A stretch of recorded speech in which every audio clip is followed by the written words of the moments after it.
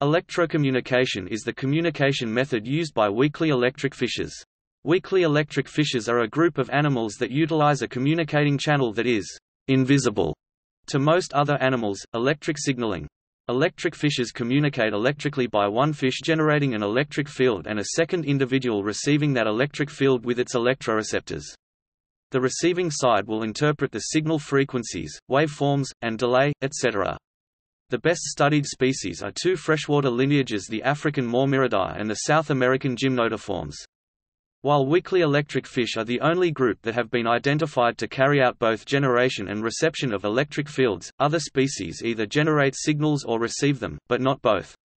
Animals that either generate or receive electric fields are found only in aquatic or at least moist environments due to large resistance of all other media e.g. air. So far, communication between electric fish has been identified mainly to serve the purpose of conveying information in species recognition, courtship and sex recognition, motivational status attack warning or submission and environmental conditions.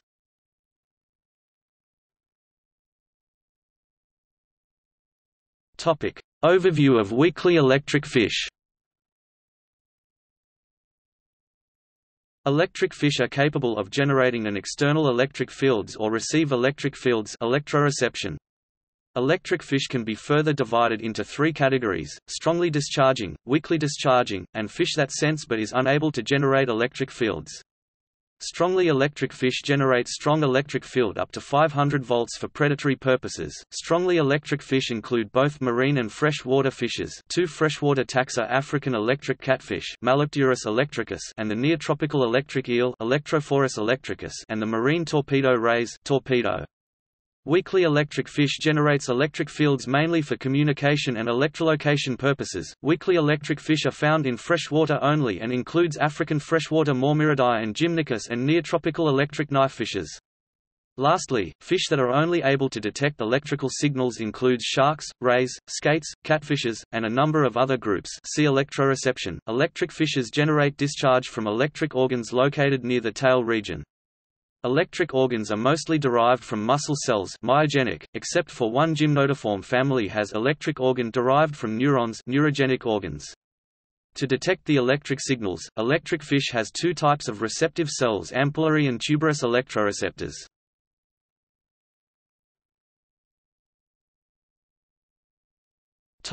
Electroreceptor organs All organisms respond to sufficiently strong electric shocks, but only some aquatic vertebrates can detect and utilize weak electric fields such as those that occur naturally. These aquatic organisms are therefore called electroreceptive. For an example, human beings react to strong electric currents with a sense of pain and sometimes a mixture of other senses. However, we cannot detect weakly electric fields and therefore are not electroreceptive. The ability to sense and utilize electric fields was found almost solely in lower, aquatic vertebrates, fishes and some amphibians. Terrestrial animals, with very few exceptions, lack this electric sensing channel due to low conductivity of air, soil, or media other than aqueous environment. Exceptions include the Australian monotremes, i.e. the echidna which eats mainly ants and termites, and the semi-aquatic platypus that hunts by utilizing electric fields generated by invertebrate prey. In order to detect weakly electric fields, animals must possess electroreceptors receptive organs that detect electric potential differences. For electric fishes, receptive organs are groups of sensory cells rooted in epidermal pits, which look like small spots on the skin. In each receptive organ, there are sensory cells embedded in the bottom of the opened pit that faces outside. Electroreceptors detect electric signals by building up a potential difference between the outside environment and the fish body's internal environment. Current flow due to such potential difference further results in a receptor potential that is presynaptic to the sensory fibers. Finally, this receptor potential leads to action potential fired by sensory cells. Electric fishes carry a variety of sensitive receptive organs that are tuned to different types and ranges of signals. To classify types of electroreceptors, the first differentiation point should be made between ampullary and tuberous organs, which exist in both mormyrids and gymnotiforms.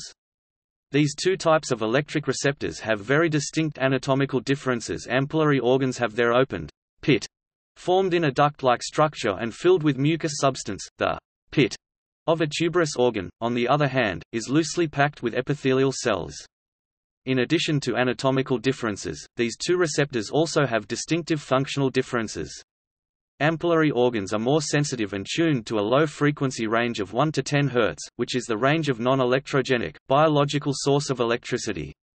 Therefore, ampullary organs are mainly used for passive electrolocation.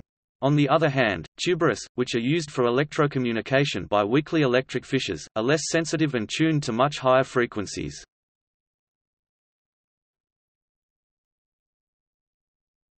Topic: Classification of the two types of receptive organs.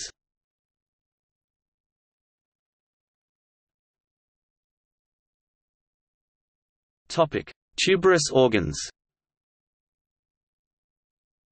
Tuberous organs, the type of receptive organ used for electrocommunication, can be divided into two types, depending on the way information is encoded, time coders and amplitude coders. There are multiple forms of tuberous organs in each time and amplitude coders, and all weakly electric fish species possess at least one form of the two coders. Time coder fires phase-locked action potential meaning, the waveform of the action potential is always the same at a fixed delay time after each outside transient is formed. Therefore, time coders neglect information about waveform and amplitude but focus on frequency of the signal and fire action potentials on a one-to-one -one basis to the outside transient. Amplitude coders, on the contrary, fire according to the EOD amplitude. While both wave-type and pulse-type fishes have amplitude coders, they fire in different ways. Receptors of wave-type fishes continuously fire at a rate according to their own EOD amplitude. On the other hand, receptors of pulse-type fishes fire burst of spikes to each EOD detected, and the number of spikes in each burst is correlated to the amplitude of the EOD. Tuberous electroreceptors show a V-shaped threshold tuning curve similar to auditory system, which means that they are tuned to a particular frequency. This particular tuned-in frequency is usually closely matched to their own EOD frequency.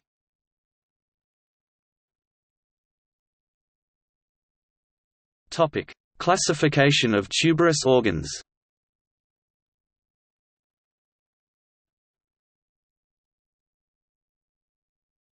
Topic: Electric organs. Weakly electric fish generates electric organ discharge (EOD) with specialized compartments called electric organ. Almost all the weakly electric fishes have electric organs derived from muscle cells myogenic. The only exception is the Apteronotidae, a family under gymnotiforms that has electric organs derived from nerve cells neurogenic. Myogenic electrocytes are arranged into columns of small, discs-like cells called electroplate. The exceptional family, Apteronotidae, also carries myogenic electric organs in larval stages. However, as the fish matures, electrogenic organs derived from central spinal cord gradually replace the muscle cell-derived electric cells. Discharge of an electric organ begins with central command from a medullary pacemaker that determines the frequency and rhythm of EODs. These two characteristics frequency and rhythm of EODs are also referred to as SPI sequence of pulse intervals. The command from medullary pacemaker is then passed on by spinal electromotor neurons to electrocytes forming the electric organ, which determine the waveform of the EODs based on its morphophysiological properties. As command from pacemaker reaches electric organ, it opens up all the sodium channels, causing net sodium ion flux in one direction. The direction will either be towards or away from the head, and brings simultaneous depolarization of all electrocytes on the same side of cell. The result is a positive polarity at the fish's head relative to the tail, or vice versa, a dipole system. The polarity built up by the electric organ therefore sets up an electrostatic field in the water. Electric organs are quite different between mormyrids and gymnotiforms and therefore will be presented separately.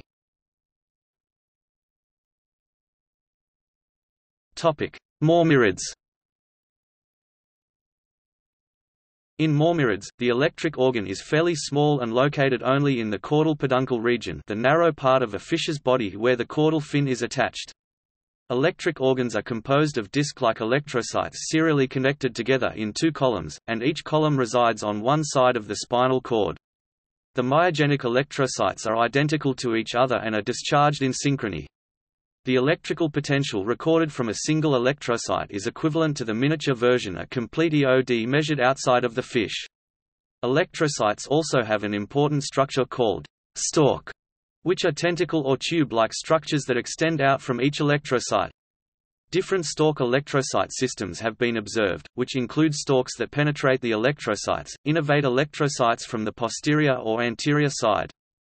Multiple stalks from one electrocyte eventually fuse together to form a large stalk that receives innervation from spinal electromotor neurons. Different morphological structures of the stalk, electrocyte systems result in differences in electric current flow, which further lead to various waveforms.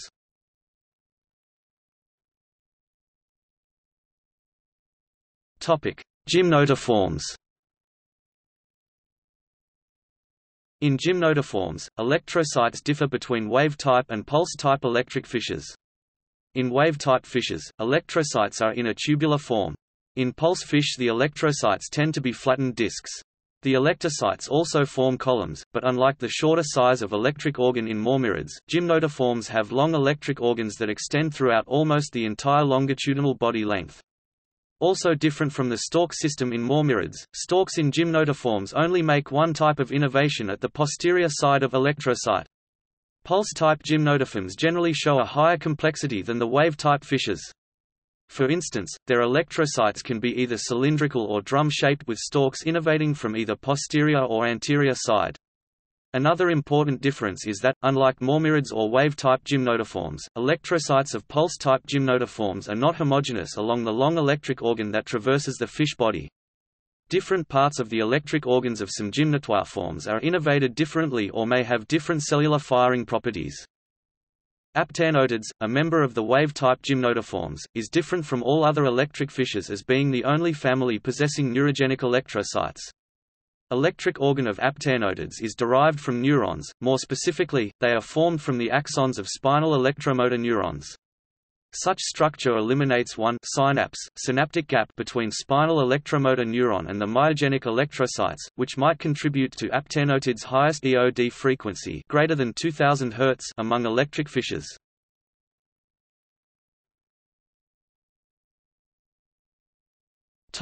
Signals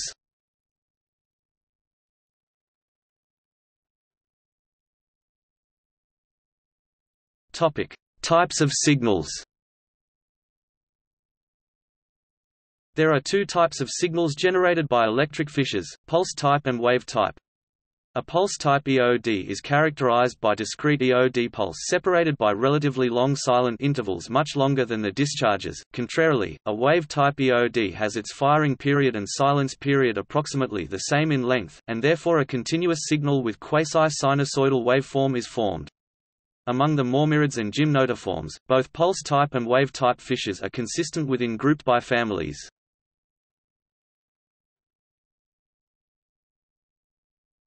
Topic: Physical properties of signals.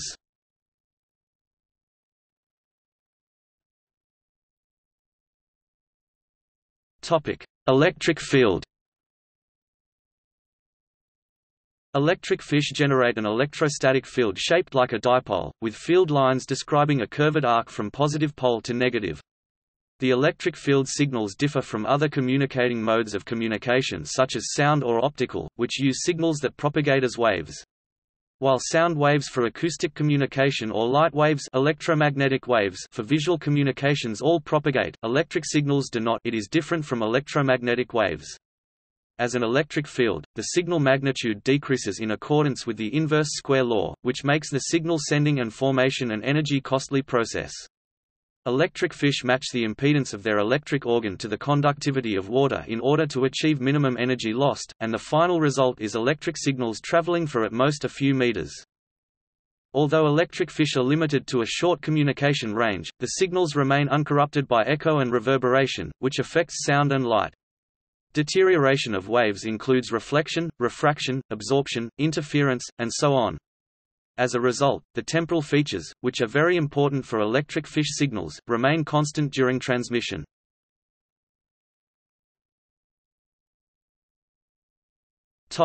Active space When transmitting electric signals in aquatic environment, the physical and chemical nature of the surroundings can make big differences to signal transmission. Environmental factors that might impose influences include solute concentration, temperature, and background electrical noise lightning or artificial facilities, etc. To understand the effectiveness of electric signal transmission, it is necessary to define the term, active space, the area, volume within which a signal can elicit responses from other organisms. The active space of an electric fish normally has an ellipsoid shape due to the arrangement of dipoles formed by its electric organs. While both electric communication and electrolocation rely on signals generated by electric organs, electrocommunication has an active space tenfold larger than electrolocation because of the extreme sensitivity of tuberous electrocommunication receptors. One of the biggest factors that affect active space size will be the water conductance mediated by solute concentration in the water. It's been shown that mormyrids have adapted its optimal active range in lower conductivity habitats. One natural phenomenon that supports such theory is that, many species spawn during the time when rivers, lakes have the lowest conductivity due to heavy rains. Having bigger active space in water with low conductivity will therefore benefit mating and courting. One other explanation tested by Kim and Moller is that, having smaller active space during dry season when mating is not occurring accommodates crowded social spacing without unnecessary signal transmission between individuals.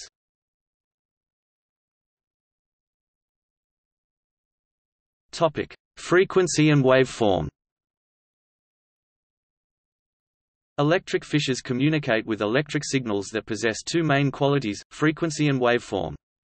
The information in waveform is embedded in the electric organ discharge (EOD) itself, which is determined and fixed by the anatomy and physiology of the electric organ. EOD waveform, in some species, changes with developmental stages. Frequency of EODs and interval duration between them are called sequence of pulse intervals (SPI), which are controlled by the command interneurons in the midbrain and medulla, as stated under electric organs. Alteration in SPI produces widely varying social signals among electric fish during mating, warning, or identifying. These two properties waveform, EOD and frequency, SPI are used by both wave and pulse-type fishes for recognition and communication.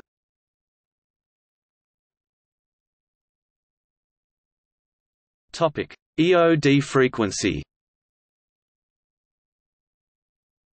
Frequency is the number of occurrences of a repeating event per unit time. Here, EOD frequency is referred to the firing rate of an electric fish.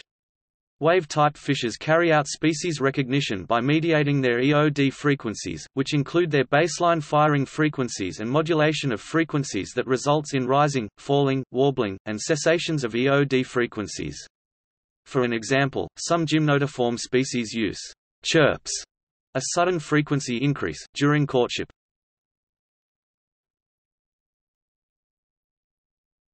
Topic: EOD waveform Waveform is the shape and form of a wave. Each species of electric fish has their distinct EOD waveform. Pulse-type fishes conduct species recognition by paying attention to the differences of EOD waveform, which include properties such as, EOD duration, number of phases, and form of the phases. Meanwhile, some indirect properties hidden in waveform are also used by pulse-type fishes, amplitude gradient, duration ratios of phases, and the order and signs of phases.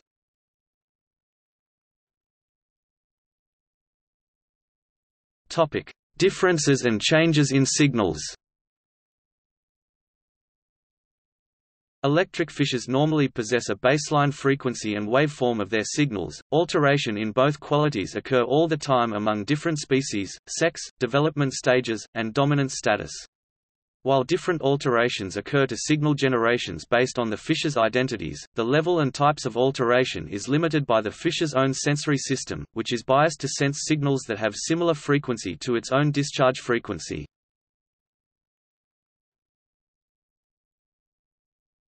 Topic: Signals and sex. As electric fish mature, some taxa develop differences in EOD between males and females i.e. sexual dimorphism. Typically, male electric fish have lower EOD frequency and longer EOD duration than females. Among males, the dominant and largest fish generally possesses the lowest frequency.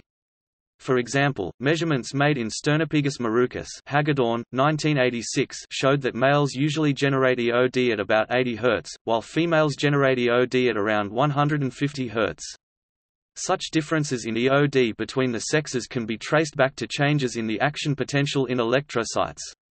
As electric fish mature from the juvenile stage, male fish grow larger with longer and thicker tails, which might result in larger electric organs that generate lower frequency EODs. One of the physiological factors that have been proven to contribute to the sexual dimorphism of EODs is the level of teleost hormone androgen 11 ketotestosterone and estrogen. Experiments shown that by injecting 1,1-kT into female electric fishes, not only did their EOD waveforms and frequencies become closer to that of the males, but their tuberous electroreceptors were also modified to be able to detect signals according to the newly transformed EOD properties. However, when estrogen was applied, the EODs of male electric fish gradually became closer to the female EODs. Sexual dimorphism in EOD waveforms and frequencies also imposes an influence on active space size.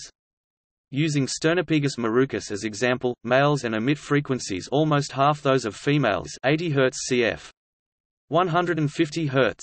However, since most electroreceptors are tuned to signal frequencies that are closer to the receiver's own frequency, the difference in EOD frequency results in a different ability of electric fishes to sense signals from either sex, which further leads to different active space sizes.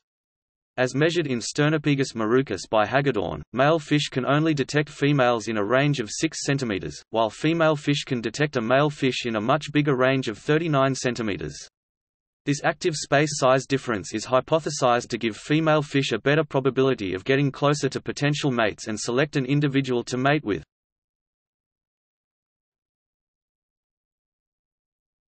Topic: Signals and development stages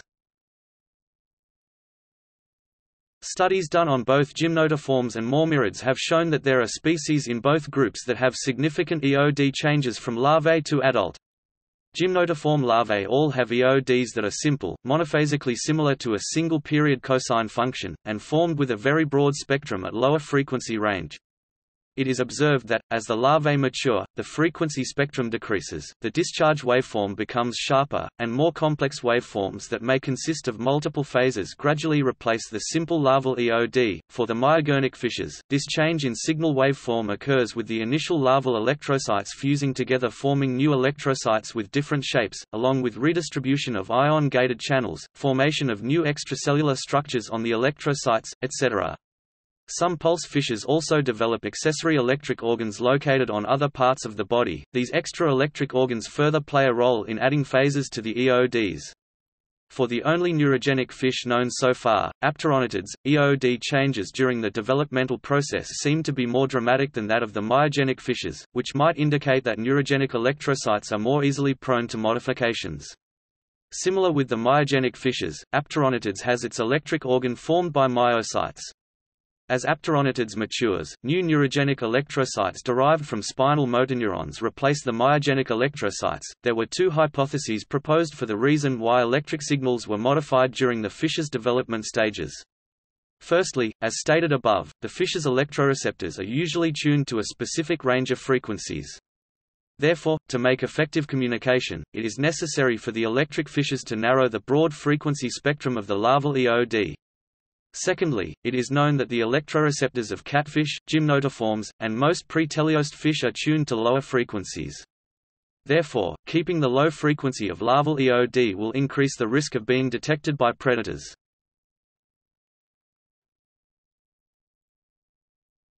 Topic: Signals and dominance status.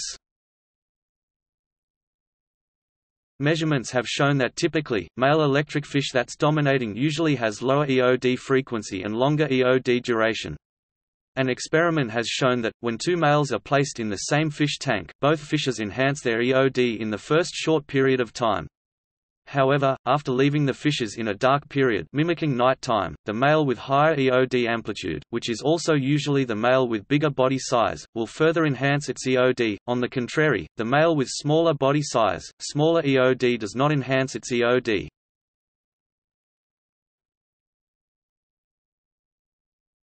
Topic: Special signals. In electric communication, there are some distinct types of signals that serve special purposes such as courting or aggression. Examples of these special EODs include rasps, chirps, and Smooth acceleration RASP is a burst of pulses at a relatively constant frequency performed by some species during courtship. Chirp is a rapid increase or decrease in frequency. Smooth acceleration is a period of tens to hundreds of milliseconds that EOD rate increases but in a smooth way. Due to law of conservation of energy, the amplitude of the EOD might lower for a few percent, but the overall changes in waveform and amplitude is small. Male gymnotiforms emit these accelerated signals during aggression and courtship. In the fish studied, if courtship goes well and proceeds to spawning, male electric fish starts to use another special type of EOD the chirp. Chirp also lasts for tens to hundreds milliseconds, however, the increase in frequency was so high that electrocytes could not recover soon enough, and therefore, chirps has a very small amplitude and a waveform deviated from the original waveform.